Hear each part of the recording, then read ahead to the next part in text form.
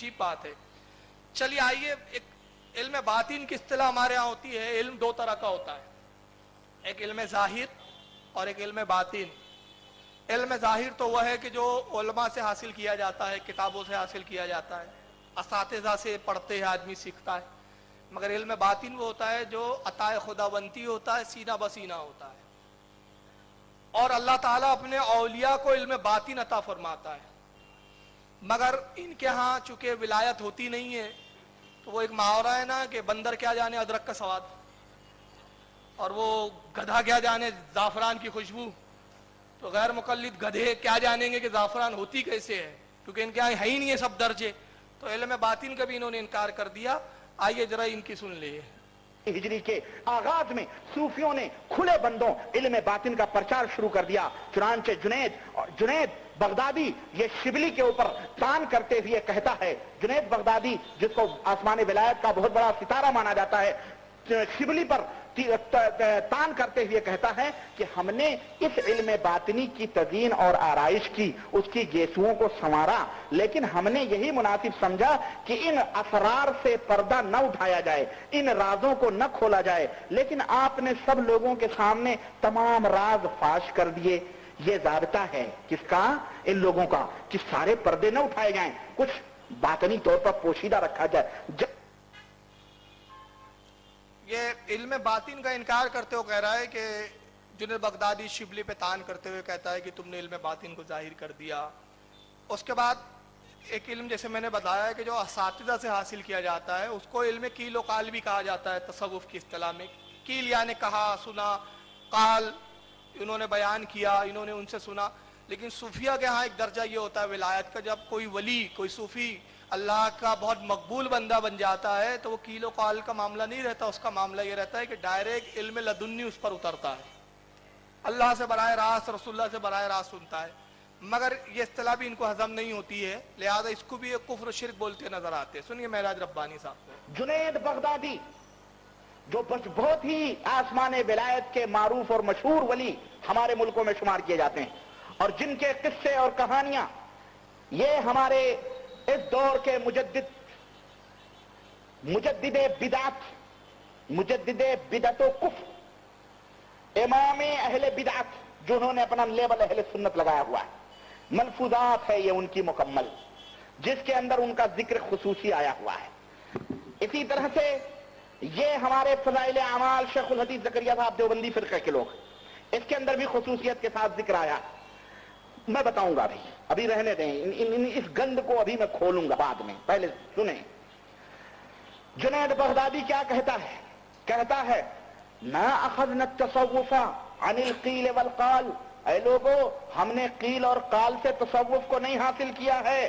یعنی ہمارا جو تصوف ہے وہ قیل و قال سے بری ہے۔ تم نے قیل و قال قال فلان قال فلان قال فلان، اخبرنا فلان، حدثنا فلان، حدثنا۔ تم قیل و قال والے ہو۔ لیکن ہمارا تصوف کیا ہے؟ قیل و قال پاک ہے۔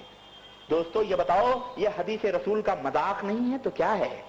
یہ حدیث رسول کا تمسخر نہیں ہے تو کیا ہے؟ میں تم سے پوچھنا چاہتا ہوں۔ یعنی علم باطن کا انہوں نے انکار کیا۔ اب یہ اس کو تھوڑا سا ذہن میں رکھیں۔ اور وہ اعلیٰ حضرت کا نام وام ایسے چھڑ چڑھا کے لیتا ہے۔ میں جب یہ سنتا ہوں تو میں وہ کیسا لگتا ہوں جیسے وہ نلوں پہ پانی بھرنے والی جھوڑ پٹی کی عورتیں نہیں رہتی؟ جھگیوں کی۔ چرکٹی عورتیں بولتے ہیں ہمارے یہاں ناگپور میں ان کو۔ چرکٹیاں کچ کچ کچ کچ کرتے رہتی ہے۔ چچ ویسی لگتے ہیں یہ لوگ۔ بالکل چیچی چی مطلب ایسا لگتا ہے یہ نل بھرنے اور یہ تھا بھی کون؟ معلوم آپ کو؟ مہراج ربانی، اس کا باپ قبر کھودتا تھا۔ اب مردوں کو فروش کر کر کے تو کھا پی کے پلا بڑا ہے۔ تو وہ اثرات ظاہر ہے رسک جیسا ہوں گا ویسی ظاہر ہوگی تو بالکل عجیب انداز میں چڑچڑاہٹ کے ساتھ بولتا ہے۔ آئیے علم باطین کا ثبوت کہاں ہے؟ ذرا سن لیجیے۔ یہ حدیث پاک میں آپ کو دکھا رہا ہوں۔ یہ بخاری شریف۔ بخاری نہیں پڑھتے، میں تو کہا نا کہ غیر مقلد جاہل فرقے کا نام ہے، یاد رکھ لیجیے۔ کوئی بھی بولے میں غیر مقلد اچھا آپ جاہل ہے جیسے تعارف ہوتا ہے نا بھائی، آپ کس فرقے سے مکتب فکر سے تعلق رکھتے ہیں؟ تو اگر جیسے ٹرین میں یا بس میں کوئی مل جا کہ بھائی میں تو دیوبندی ہوں، تو تھوڑا سا لحاظ رکھ لینا کہ بھائی حنفی ہے تو کچھ نہ کچھ تو آتا ہی ہوں گا اس کو۔ لیکن وہ بولے، میں غیر مقلد ہوں، میں کسی امام کو نہیں مانتا۔ اچھا اچھا آپ جاہل ہے گوار ہے سمجھ جانا کہ بہت بڑا جاہل ہے یہ۔ صرف بخاری اور مسلم کا نام لیتا، یہ پڑھتا کچھ بھی نہیں ہے۔ دیکھیے، آئیے پھر سے، دیکھیے، یہ ہے بخاری شریف۔ کتاب العلم، جلد نمبر ایک۔ پہلی جلد میں کتاب العلم کے اندر یہ حدیث آئی ہے، باب حفظ العلم، حدیث نمبر ایک سو بیس۔ حدثنا اسماعیل۔ امام بخاری کہتے ہیں حدیث بیان کی اسماعیل نے۔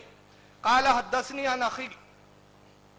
اور انہوں نے ان سے حدیث بیان کی، ان کے بھائی نے۔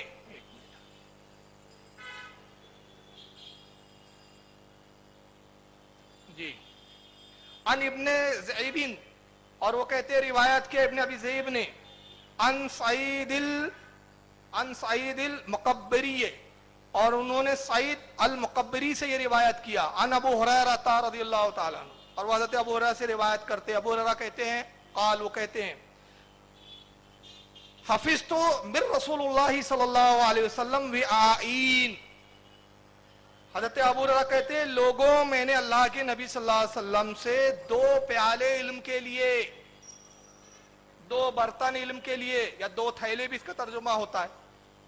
ریائین میں نے دو تھیلے رسول اللہ سے علم کے حاصل کیے، یا دو برتن میں نے رسول اللہ سے علم کے حاصل کیے۔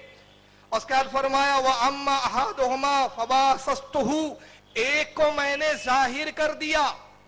ایک علم کو میں نے تم میں عام کر دیا، ایک علم کو تمہیں بتا دیا۔ وَأَمَّا الْأَخَرُ فَلَوْ بَاسَسْتُهُ۔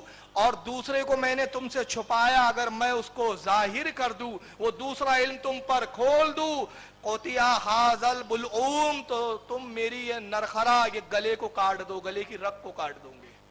یہ علم تمہیں ہضم نہیں ہوگا یہ کون سا علم تھا جس کو ظاہر کرنے کا حکم نہیں دیا اللہ کے نبی، علم باطن؟ آگے امام بخاری کہتے ہیں قالا ابو عبداللہ ہی ابو عبداللہ جو ہے، یہ امام بخاری کی کنیت ہے۔ وہ کہتے ہیں کہ امام بخاری خود اپنا نام لے کے کہتے ہیں کہ میں ابو عبداللہ کہتا ہوں، البلعوم مجرد تام یہ جو نرخرا یہ جو رگ ہے، یا وہ گلی کا جو جس کے بارے میں کہہ رہے ہیں، اس سے مراد وہ ہے جس سے کھانا اترتا ہے، وہ رگ۔ یعنی یہ نڈا۔ یہ اس سے مراد ہے۔ تو امام ابو، حضرت ابو حرا کہتے ہیں کہ اللہ کے رسول سے میں نے کتنے طریقے کے علم حاصل کیا؟ دو طریقے کا۔ ایک علم میں نے ظاہر کر دیا اور ایک علم کو پوشیدہ رکھا، چھپایا۔ اگر میں اس کو تم پر ظاہر کر دوں تو وہ علم تم کو ہضم نہیں ہوگا۔ تو تم کیا کرو گے؟ میری شہرک کاٹ دو گے، گردن کاٹ دو گے۔ تو اس کا مطلب علم باطن کا ثبوت تو بخاری کے اندر موجود ہے اور یہ اس خبیص کو معلوم نہیں ہے۔ خود اللہ کے رسول کی ایک حدیث ہے، اللہ کے نبی نے فرمایا لوگوں علم دو طرح کا ہے۔ ایک علم ظاہر اور ایک علم باطن۔ قرآن کا علم بعض ظاہر پہ کچھ ظاہر کیا گیا اور میری امت میں کچھ جماعتیں وہ ہے جن کو اللہ نے قرآن کا باطن علم بھی عطا فرمایا ہے، جو قرآن کا باطن بھی جانتے ہیں۔ اب میراج ربانی صاحب نے کہا کہ کیلو کال جو ہے یہ جنید بغدادی نے کہا اور جنید بغدادی پہ کمنٹس کیا اس نے خبیص نے اور کمنٹس کرتے ہوئے کہا کہ معاذ اللہ سما معاذ اللہ استغفر اللہ، یہ حدیث رسول کا تمسکر ہے، مذاق اڑانا۔ یعنی جنید بغدادی نے حدیث رسول کا مذاق اڑایا۔ آئیے وہی فت الغیب میں دکھاؤں، غوث اعظم کی۔ غوث اعظم نے ان کو تو ایسا مارا ہے کہ پوچھو مت، یہ مار ہے غوث پاک کی ان پر۔ یہ غوث پاک کو عالم بولتے ہیں، لیکن ان کی کتابیں نہیں پڑھتے۔ سرکار غوث اعظم کی فت الغیب وہی کتاب جس کا حاشیہ، جس کی شرح اپنے تیمیہ نے کی۔ اس کتاب کا صفحہ نمبر ایک سو چوراسی ایک سو اٹھاسی ہے ہاں ایک سو اٹھاسی سرکار غوث اعظم فرماتے وہی جملہ من و ان جملہ لکھا ہے غوث پاک نے جو جنید بغدادی کا جملہ ہے وَالتَّصَفُوا لَيْسَا أَخَذُوا عَنِ الْقِيلُ وَالْقَالِ اے لوگو تصوف ہم نے کیلو کال سے حاصل نہیں کیا وَلَاكِنْ أَخَذُوا عَنِ الْجُو ہم نے تصوف کو بھوک سے حاصل کیا ہے نفس کے مجاہدے سے حاصل کیا ہے، بھوک سے حاصل کیا ہے۔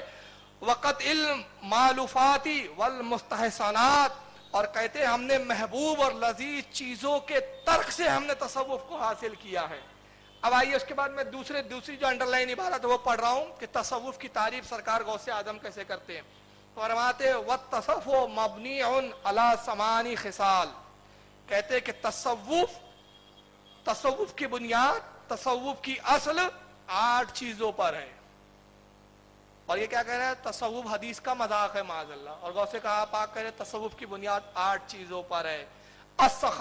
لی سیدنا ابراہیم علیہ السلام، حضرت ابراہیم علیہ السلام کی سقاوت کی طرح سقاوت رکھنا۔ والرضاء لے علیہ السلام، حضرت عیسیٰ علیہ السلام کی جیسے رضا، اللہ کی رضا پر رضا پر رضا پہ راضی رہنا۔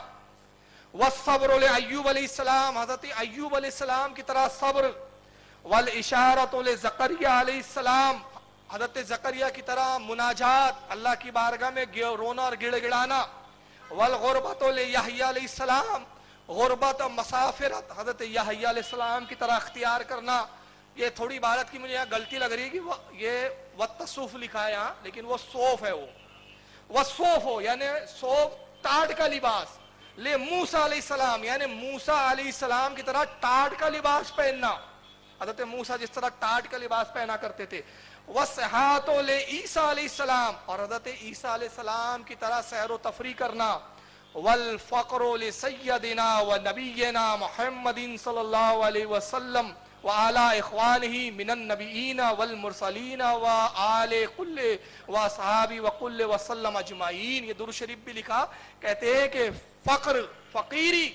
حضور صلی اللہ تعالی وسلم کی طرح اختیار کرنا، سلامتی ہو آپ کے بھائیوں پر یعنی حضرت علی وغیرہ جو ان کے ہیں، اور نبیوں پر، مرسلین پر، اور ان کی آل پر، ان کے اصحاب پر، اور تمام لوگوں پر۔ یہ ہے تصوف۔ اور معراج ربانی صاحب، تصوف جو ہے، اس کی کوئی اصل نہیں ہے۔